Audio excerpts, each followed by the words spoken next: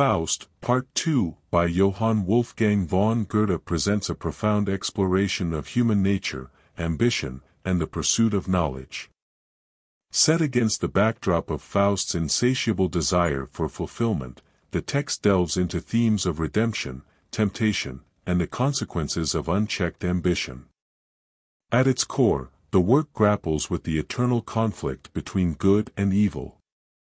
Faust's character embodies the complexity of this struggle, as he vacillates between noble aspirations and morally questionable actions.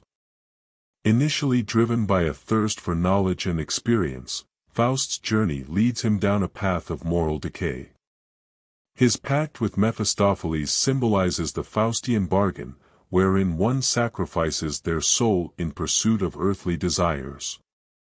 The character of Mephistopheles serves as both antagonist and catalyst, tempting Faust with promises of power and pleasure. Through their interactions, Goethe explores the corrupting influence of temptation and the frailty of human resolve.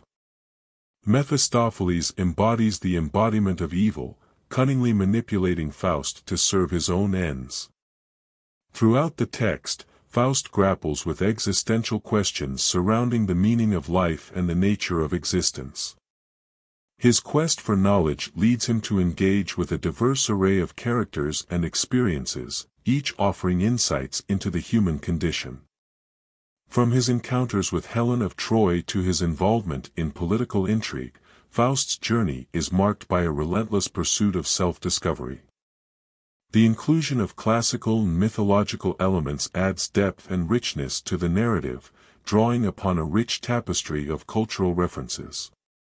By weaving together elements of Greek mythology, medieval legend, and Christian theology, Goethe creates a multifaceted exploration of the human experience.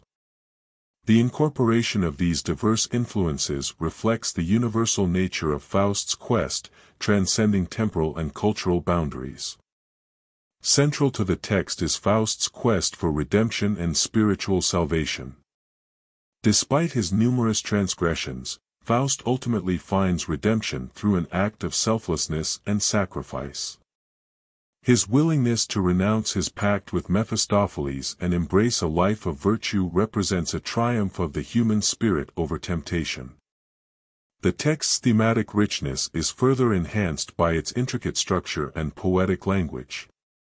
Goethe's use of symbolism, metaphor, and allegory imbues the text with layers of meaning, inviting readers to contemplate the deeper significance of Faust's journey. From the symbolic significance of the Walpurgis night to the allegorical portrayal of the eternal feminine, each element of the text contributes to its overarching thematic framework.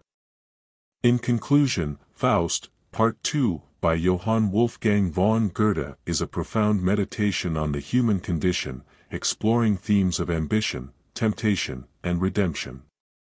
Through the character of Faust and his interactions with Mephistopheles and other figures, Goethe delves into the complexities of human nature and the eternal struggle between good and evil.